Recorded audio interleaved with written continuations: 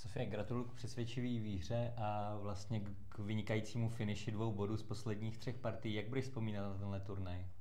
No, byl to hrozně dobrý turnaj, jakože mě hrozně líbila ta atmosféra, když hraješ na tom, když nehraješ v tom Openu, ale když hraješ s Masters a ten Challengers. Jako sami partie mi moc myslím nějaký nedařily, ale nějaký byly dobrý. Myslím, že prostě potřebuji podívat na svoje chyby a příští rok už musím hrát Challengers, protože Futures se nemůžu hrát. A jak jsi spokojená se svým finálním výsledkem? Minus jedna proti, vlastně skoro všichni hráči byli elově silnější než ty. Není zase tak špatný výsledek, jak jsi s tím spokojená?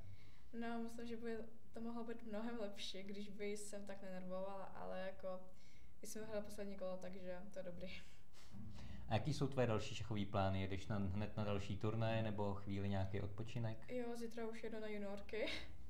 Um, a po juniorkách už chci mít, jakože nemít týden z šachy, ať chci odpočinout.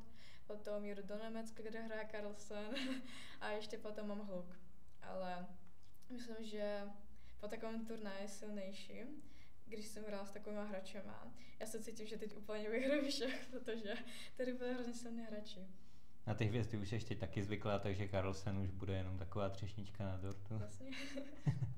Můžu se ptat, jestli máš před partí nebo před turnajem nějaké tradice nebo zvyky, co vždycky děláš? Někdo má šťastné propisky, Vidy třeba často medituje před partí. Jo, a když hraju jakože nějaký open, tak já mám takovou podložku na papír a já tam mám namalovanou kočičku, jakože na mě pro štěstí.